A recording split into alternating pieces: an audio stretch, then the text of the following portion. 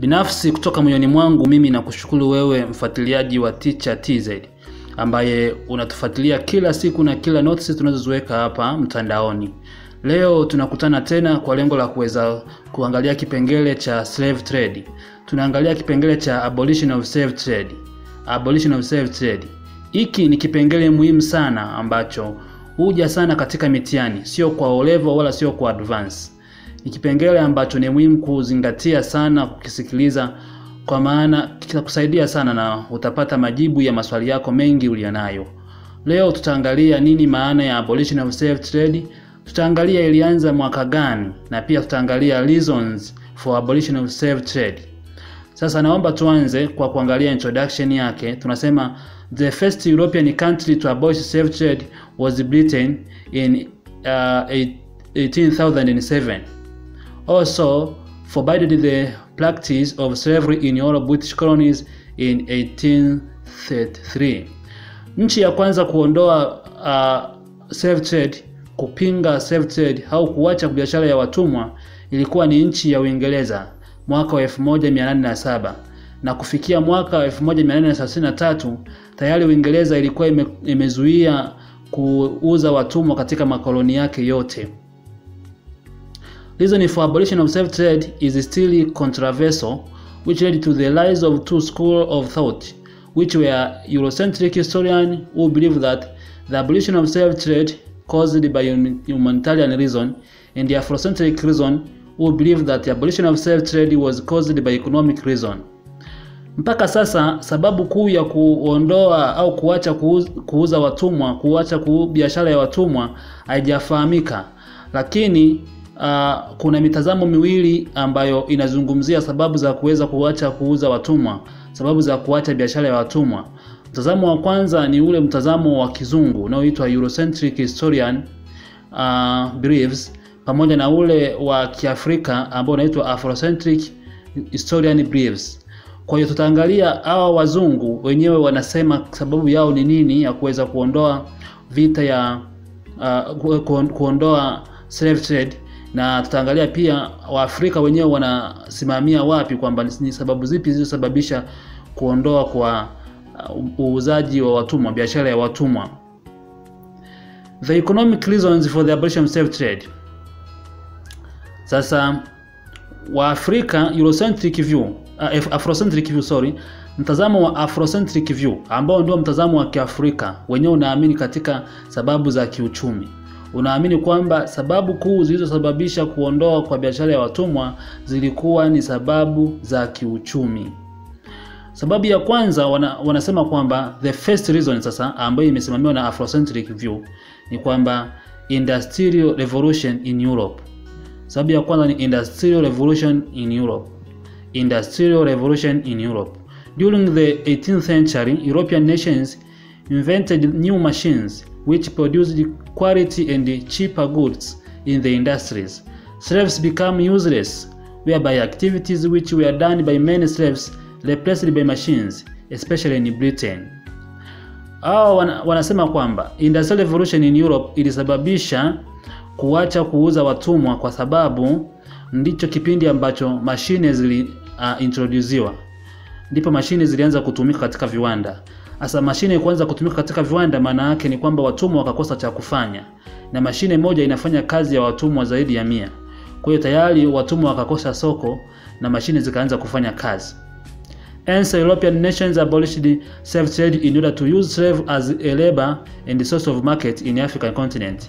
Example, British stopped the slave trade in order to expand market for her finished goods in West Africa. Kwa hiyo ikaonekana kwamba watumwa hawana maana tena kule viwandani, badala yake zitumike mashine. Watumwa wenyewe walitumika katika masuala ya kutafuta uh, market, kutafuta market, wakakosa soko katika viwanda. Sababu ya kwanza ni industrial revolution in Europe. Sababu ya pili iliyosababisha uh, abolition of slave trade ni the competitive of sugar production between British and French. Competi competitive or competition. The competition of sugar production between British and French. The competition of sugar production between British and French. At first, British sold their sugar for high price because they monopolized the sugar market. Sababu inasema kwamba sababu ilikuwa ni, ni ile mvutano, ushindani uliokuwepo wa kuzalisha sukari kati ya nchi ya Uingereza pamoja na nchi ya Ufaransa. Ushindani uliokuwepo uzalishaji wa sukari kati ya nchi ya Uingereza na nchi ya Ufaransa, ambapo mwanzoni kabisa British au Uingereza ilikuwa inauza sukari yake katika uh, kwa kwa gharama ya juu sana, kwa sababu wenyewe ndio walikuwa wana monopolize katika masuala ya uh, market, katika masuala ya soko la sukari, wenyewe ndio walikuwa wanazalisha kiwango kikubwa sana. Kwa hiyo wakawa wanauza kwa wakawa wanauza kwa gharama ya juu sana. He, lakini surprisingly in the last quarter of the last quarter of 18th century the French West Indies increased their sugar production on large scale and sell their sugar very cheap. Uh, mwanzoni Uingereza ilikuwa inazalisha sukari peke yake kwa kiasi kikubwa na ilikuwa inauza kwa bei ya juu sana, lakini cha kushangaza baadaye uh, Ufaransa kwenye karne ya kumi na nane na yenyewe ikaanza kuzalisha ikaanza kuzalisha sukari kwa kiwango cha juu sana, na pia yenyewe ikawa inauza sasa kwa kiwango cha chini. Kwa hiyo sasa Uingereza ikakosa soko alilokuwa nalo pale mwanzoni, kwa sababu soko lilikuja kutekwa na Ufaransa ambaye yeye alikuwa anauza kwa bei ya chini. Due to this fact, French took British monopoly on sugar production and sale in America and Europe. This led to the fall of the sugar production in West Indies. Sasa hii ilifanya Ufaransa akawa ni mtu ambaye anazalisha kiwango kikubwa sana cha sukari na akawa anauza katika nchi za katika mabara ya Amerika na mabara ya Ulaya. Kwa hiyo hii ikampelekea Uingereza kuweza kukosa market. Hence, slaves become useless. Ndipo ambapo watumwa walikosa kazi ya kufanya. The British, the British started the abolition of slave trade by accepting that it will increase the French cost of labor and it will force French to raise the price of sugar and British should retain the monopoly. Ndipo sasa Uingereza baada ya kuona Ufaransa amemteka ame katika soko akaamua kulazimisha kwamba watumwa waache kuzalisha, kwa sababu Ufaransa alikuwa anazalisha kutumia watumwa. Kwa lengo lake ni kwamba watumwa wakiacha kuzalisha kutu, wakiacha kutumiwa, biashara ya watumwa ikikomwa, maana yake Ufaransa hatapata wazalishaji tena, atakosa soko, ili Uingereza aendelee kumonopolize uh, market. Hiyo ilikuwa ni sababu ya pili inayosema the competition of sugar production between British and French. Sababu ya tatu iliyopelekea abolition of slave trade economic ilikuwa ni the American independence. The American independence, uhuru wa wa Marekani, uhuru wa nchi ya Marekani. After American independence in uh, 1776 British lost its production of tobacco, sugar and minerals which produced by using slaves. Ikumbuke kwamba Uingereza ilikuwa uh, Marekani ilikuwa inatawaliwa na Uingereza. Marekani ilikuwa inatawaliwa na Uingereza. Sasa mwaka 1776 Uingereza ndipo ilipokuja kupata uhuru. Ilipopata uhuru tayari Uingereza ikapoteza uzalishaji wa wa tumbaku, uh, sukari pamoja na masuala ya uchimbaji wa madini katika nchi hiyo ya Amerika ambayo ilikuwa inazalishwa na nini? Ilikuwa inazalishwa na watumwa. Kwa hiyo baada ya kuona hivyo, ikabidi ahamasishe kwamba uh, watumwa waache kutumiwa ili yeye aendelee sasa kuwa na nguvu zaidi huko Ulaya. This led to the abolition of slave trade because of because American also started to fight against slave trade. Example, America abolished slave trade in 1808. Um, hii pia ilikuja kuchagizwa na Amerika baada ya Amerika kuwa imepata uhuru sasa, na yenyewe ikawa inapiga vita uuzaji wa watumwa, ambapo Amerika ilipata ilikuja kuondoa kabisa uzazi wa watumwa mwaka wa 1808. Point inasema the American independence, the American independence. Point nyingine ya abolition of slave trade ni constant strikes, constant strikes, constant strikes. This encouraged the abolition of slave trade because slave revolts made slaves dangerous and very expensive to maintain.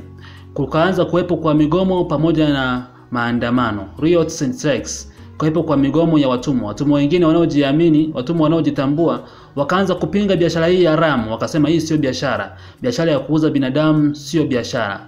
Hiyo ikapelekea pia kuweza kuabolish slave trade. constant riots and strikes constant riots and strikes constant riots and strikes. Hii ilikuwa ni sababu moja ya kuweza kuabolish slave trade. Example of revolts include uh, ile ya mwaka 1803 French Islands the modern height which distracted industries plantations and killed their masters. Also revolts occurred in Jamaica in 1831 and Barbados in 1816 Mfano wa migomo na maandamano yaliyotokea ilikuwa ni ule mgomo wa mwaka 1843 uliotokea huko Ufaransa katika kisiwa cha Modern Heights ambapo waliharibu wa, wa sana viwanda au watumwa, wakavunja vunja mashamba wakayaharibu, pamoja na kuua ma, wale wauzaji wa watumwa. Kwa hiyo migomo ilichagiza sana kuweza kuondoa vita, kuondoa kuondoa kumradhi, kuondoa uh, biashara ya watumwa. This affected capitalist economy and later made European to abolish slave trade. Point nyingine inasema, point tunayomaliza inasema constant riots and strikes, lakini uh, point nyingine ya tano inasema slaves become expensive. Slaves become expensive during the 19th century. Europeans realized that free labor in European industries were cheap and efficient compared to slave labor. Slave become expensive. Point inasema slave become expensive na wa, sasa na soko la watumwa na watumwa wakawa wanauzwa kwa bei ya juu sana. Watumwa wakawa wanauzwa kwa bei ya juu sana. Kipindi cha karne ya 19 huko bara la Ulaya uh, ndipo ambapo walitambua kwamba watumwa free labor in Europe industries were cheap uh, and efficient compared to slave labor. Wakaja kugundua kwamba uh, wale, wale watu ambao wanajipeleka wenyewe kuweza kufanya kazi viwandani wako chip zaidi ya wale watumwa wa kununua. Kwa hiyo wakawa wakaacha biashara ya watumwa, ikabidi waanze sasa kutumia wale watu ambao wanajipeleka wenyewe viwandani kufanya kazi wakiomba vibarua pasipo kufuasiwa na mtu yeyote. Kwa hiyo ikaonekana kwamba kumbe watumwa wanaonunuliwa wanawanunua kwa bei ya juu, bora wawaache vibarua wajipeleke wenyewe kuweza kufanya kazi ndani ya viwanda vyao. Also, slaves were very expensive in terms of transportation and accommodation. Watumwa wakawa watu expensive, wakawa watu wa ghali wa bei juu, kwa sababu walikuwa wanasafirishwa kwa gharama kubwa, na pia walikuwa wanapewa sehemu ya kulala na chakula kwa gharama kubwa. Ikaonekana kwamba kumbe watumwa hawana maana tena, wanaingiza hasara. Therefore, abolition of slave become un unacceptable. Point inasema slave become expensive, watumwa wakawa gari wakauzwa wakawa wanauzwa kwa bei ya juu sana. Okay, hizo zilikuwa ni economic reason.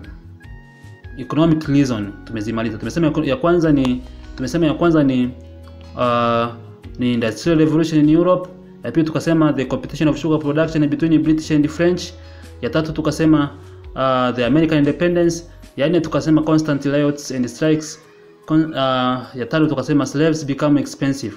Sasa tuangalie sababu za humanitarian reason ambazo hizo ndio zinasimamiwa na Eurocentric view. Zile za economic zinasimamiwa na Afrocentric view, lakini zile za uh, humanitarian reason, reason of humanitarian for abolition of slave trade ndio zinasimamiwa na Eurocentric view. On the other end, the following are the humanitarian reasons of the abolition of slave trade. Sababu ya kwanza ambayo wazungu wanaizungumzia kwamba eti ndio ilisababisha wenyewe waweze kuacha biashara ya watumwa ilikuwa ni the the evangelical reason, the evangelical reason, masuala ya kidini, issues za kidini, the evangelical reason. They stated that they stated that all human beings are equal and all human beings are created by image of God. Hence slave trade were evil which were against the will of God. Uh, wakaja kugundua kwamba wakajifanya wamegundua kwamba binadamu wote ni sawa na binadamu wote wameomba kwa mfano wa Mungu. Kwa hiyo wakaona wakaona kwamba kuuza watumwa ni dhambi, kuuza watumwa ni dhambi. Kwa hiyo wakaamua kuachana na kumpinga Mungu. Kwa hiyo wakaona kwamba kuuza watumwa ni kumpinga Mungu. Point inasema the evangelical reason. This made European to send missionaries in Africa in order to stop slave trade and spread Christianity. Supporters of this Uh, supporters of this reason include Sharp, Thomas Clarkson, William Wilberforce. um, point inasema the evangelicalism kwamba sababu za kidini wakagundua kwamba wanafanya dhambi kuuza watumwa kwa sababu watumwa, ni binadamu na binadamu ni mm, wameumbwa kwa mfano wa Mungu. Kwa hiyo ikaonekana kwamba kuuza watumwa ni dhambi, ndipo wakagundua kwamba waache kuuza watumwa na wakawatuma wamishonari kuja Afrika kwa lengo la kuweza kuzuia uuzaji na usafirishaji wa binadamu, yaani watumwa the evangelicalism. Point nyingine ambayo wanaisimamia wazungu Eurocentric view, wanaamini kwamba the role played by intellectual and writers, kazi iliyofanywa na wasomi pamoja na waandishi. The role played by intellectuals and writers, the role played by intellectuals and writers, kazi iliyofanywa na wa, wasomi pamoja na waandishi mbalimbali wa vitabu na makala. These writers helped in the abolition of slave trade, whereby those writers such as Lousseux insisted European to abolish slave trade, kwamba wasomi na waandishi wengi walisaidia sana kuweza kuondoa uh, biashara ya watumwa. Also, Adam Smith argued that hired labor was cheaper and more productive than slaves and denial before emphasized the concept of brotherhood and liberty of hence abolition of slave trade. Yes, wanazungumza kwamba walikuja kugundua kwamba biashara ya watumwa iko juu zaidi kuliko wale watu wakuja kuwalipa ujira mdogo. Bora mtu aje umlipe ujira mdogo kuliko kumnunua. Wakagundua kwamba gharama za kumnunua mtu ni kubwa ukilinganisha na, na gharama ambazo mtu atakuja umlipe ujira mdogo na kesha aweze kurudi. Sababu nyingine ya abolition of slave trade ni the French Revolution. The French Revolution. The French Revolution iliyofanyika mwaka 1789 insisted the slogan of fraternity, liberty and equality. Therefore, this created important factor for the abolition of slave trade. Sababu nyingine iliyosababisha kuondolewa kwa vita uh, kuondolewa kwa slave trade sorry, ilikuwa ni the, the French Revolution. The French Revolution. Mapinduzi yaliyofanyika huko Ufaransa ya mwaka 1789 ambayo yalihamasisha kwamba lazima kuwepo na uhuru na lazima kuwepo na equality, yani usawa kati ya mtu na mtu, na hii ikapelekea abolition of slave trade. Hadi kufikia hapo, nasema inatosha kwa sasa kukueleza habari za reasons for the abolition of slave trade. Niombe kama hauja subscribe msikilizaji, usisahau kusubscribe Teacher TZ. Tunakuletea kila kitu ambacho unakitaka wewe kuhusiana na masuala ya elimu. Notes zote zinapatikana hapa. Usisahau kututembelea na kumtaarifu mtu yeyote yule mdau wa elimu, naye akaweze kututembelea na kuweza kusubscribe Teacher TZ.